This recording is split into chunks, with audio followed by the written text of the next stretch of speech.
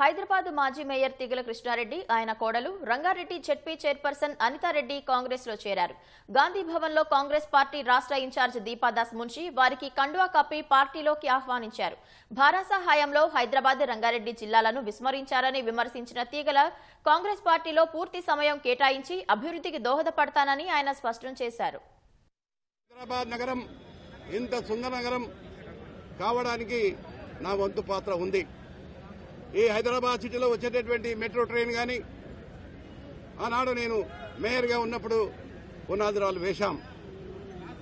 ఈరోజు కాంగ్రెస్ పార్టీ సుదీర్ఘమైనటువంటి రాజకీయాలలో ప్రాణ త్యాగాలు చేసి ఈరోజు కాంగ్రెస్ పార్టీ వచ్చింది.